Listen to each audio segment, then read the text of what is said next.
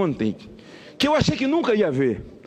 Maranhão, que sempre foi tratado pelo PT, pelo PCdoB, como a secla e moleque de recado de Eduardo Cunha, que usava a vice-presidência para poder inviabilizar a comissão de ética da Câmara. Maranhão, pau mandado de Cunha, discursos inflamados dos petistas, dos PCdoB, da base do governo. Maranhão se tornou o ídolo deles. Aí Maranhão sentou para dar uma coletiva naqueles cinco minutos de fama dele. Falando meio nervoso, meio um trem decorado assim, mas. E, e, a, e o PT veio todo, ficou nas costas dele. A senadora Jandira, a deputada Jandira Fegali ficou no centro, o líder do governo, o PT ficou todo em volta de Maranhão, porque Maranhão havia dado uma injeção de morfina nesse doente que está com falência de órgãos, prestes a morrer na UTI e que amanhã a gente desliga os aparelhos. Sabe o que me chamou a atenção? É que os argumentos que eles deram a Maranhão, o primeiro foi o seguinte: os líderes não podiam ter encaminhado a votação, disse José Eduardo Cardoso. Então o Maranhão está viciada porque o líder não podia fazer encaminhamento fechando questão, uma vez que cada deputado precisava votar com a sua própria consciência. Mas José Eduardo Cardoso, Zé Eduardo, Zé Eduardo, tem alguma tem, tem aqui alguma assessoria do governo? Mande Zé Eduardo me ouvir. O senhor é um homem preparado. O senhor esqueceu só de dizer a Maranhão que o PDT de Lupe Lupe, que Dilma colocou para fora do ministério, chamando de lixo ético. Quando ela estava navegando na popularidade, ela chamou Lupe Alfredo Nascimento de lixo ético. Alfredo deu o troco, mas Lupe faz juras de amor a Dilma. Isso é um problema dele. Eu estou aqui com a carta e o comunicado do PDT de Lupe aos deputados federais e aos senadores, dizendo o seguinte: a questão do PDT está fechada. Qualquer deputado que votar no impeachment será expulso. Maranhão, se os outros não podiam encaminhar, porque tinha que votar com a consciência, Maranhão, o que é que você me diz da tomada do PDT de Lula? Eu tenho certeza que você vai dizer a mim, é, mas Eduardo Cardoso não falou comigo, nem o Dino também não falou comigo, e nem também a presidente Dilma também não falou comigo. Eles também não disseram a você que você não pode, com uma decisão monocrática, anular uma decisão do plenário, Maranhão? As pessoas começaram a esclarecer tudo na cabeça, foi ficando muito claro. E quando o Maranhão dá essa célebre entrevista, e já estava no Brasil, o Brasil o assumindo como o mais novo humorista, o mais qualificado da nação, da zero hora, Maranhão anula o seu ato. Maranhão se autodesmentiu. Eu queria pedir Maranhão, eu queria um posicionamento de João Cláudio, de João Cláudio Moreno, o humorista do Piauí, que era da escolinha. Eu preciso de um posicionamento de tom, de tirulipa, de tiririca. Eu preciso de um posicionamento da família de Chicanísio, porque nós nordestinos nascemos para o humor. Mas ninguém sabia da vocação de Maranhão. E Maranhão botou todo mundo no bolso.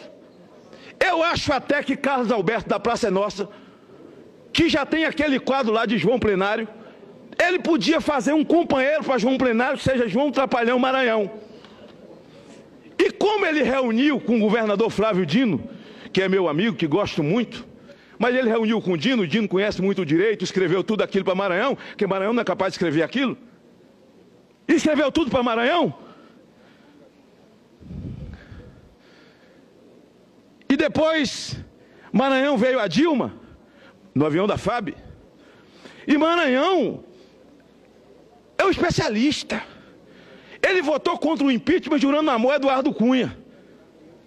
E em seguida ele trai Cunha por amor a Dilma e amor a Dino. Por amor a Dino, eu fiquei pensando naquela, naquele desenho da Globo dos dinossauros, que tinha o bebê, não é a mamãe. O baby não é a mamãe, porque se o Dino mandou, ele é o baby. Aí ele veio se encontrar com Dilmossauro, Dilmossauro. É o bebê, não é a mamãe. Quando ele vira o maior ídolo, o homem mais limpo do mundo, mais honrado, honesto, o jurista mais capaz do Brasil para o PT e para o PCdoB, Maranhão então vai lá e volta atrás. E aí eu fiquei pensando, meu Deus, será que Maranhão está rindo agora? Porque o espírito de Chapolin Colorado deve ter tomado o espírito dele. E ele começou a rir do PT, dizendo: não contavam com a minha astúcia. E se o PT falou de golpe sem saber o que, que era? Olha só, receberam um golpe de Maranhão. O governo foi golpeado por Maranhão. Alguma espécie de vingança, senador Medeiros? Alguma espécie de vingança? Mas Maranhão assaltou e se deixou tomar pelo espírito de, de Chapolin Colorado. Eu quero falar para os meus amigos do Maranhão, que certamente estão entristecidos com a atrapalhada de Maranhão, que eu tomarei uma atitude do meu próprio punho. Se a família de Maranhão não quiser fazer, eu vou fazer. Eu vou processar José Eduardo Cardoso. Eu, Magno Malta. E oriento a família dele a processar. Só não orienta o partido, porque ele já não tem mais partidos que vão expulsar ele, só porque ele tomou a proeminência de Tiririca no plenário, vão expulsar o rapaz. Você devia ficar feliz pela capacidade desse moço. Agora, por que vou processar Zé Eduardo? Porque a Bíblia, eu gosto tanto da Bíblia, porque a lei diz que é crime você usar e abusar de vulnerável. Abusar e usar um incapaz. Está na lei.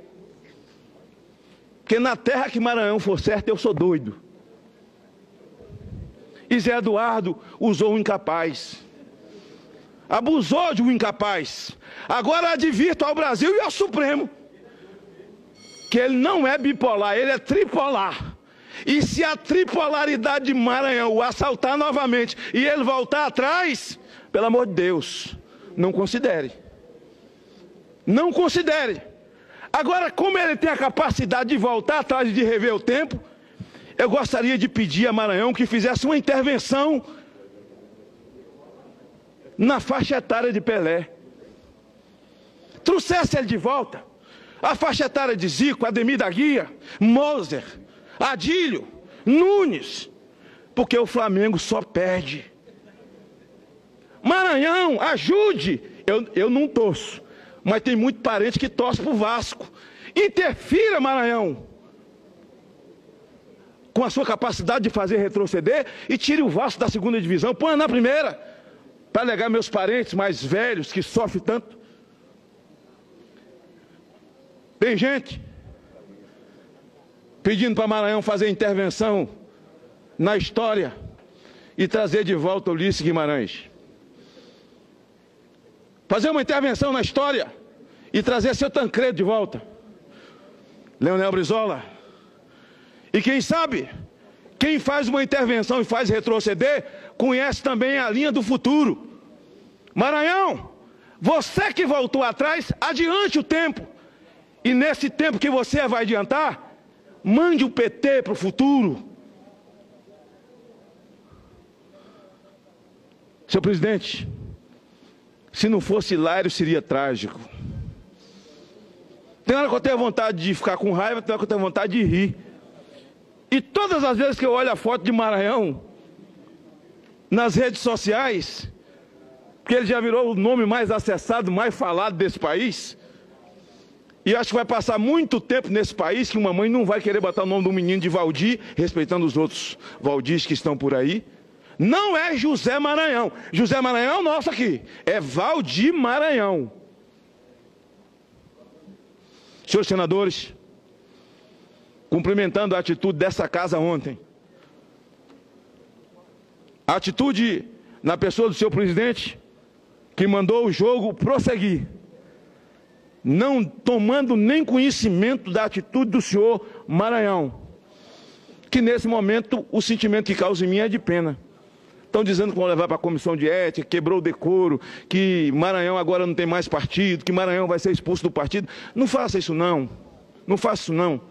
Vamos todos nos juntar e cobra isso de quem se utilizou da fragilidade mental de Maranhão para poder imprimir dias de perda no Brasil. Sabe por quê? O dólar subiu. Quando Maranhão tomou atitude, o dólar subiu. A bolsa caiu e o mundo se apavorou. Hoje eu fui ler a coluna de Cláudio Humberto. Cláudio Humberto falou que ele volta atrás na rádio do que ele escreveu, porque quando ele escreveu, em seguida Maranhão desfez e ele já tinha dormido. Senhor presidente, parece brincadeira o meu discurso, mas não é. Ele é um discurso muito sério. E eu que conheço tanta gente no Maranhão, imagino uma vergonha que eles estão vivendo nesse momento. Até porque representa no próprio sobrenome, que nunca vai descolar. Senador Magno, só me concede uma parte, por favor? Senador Petecão.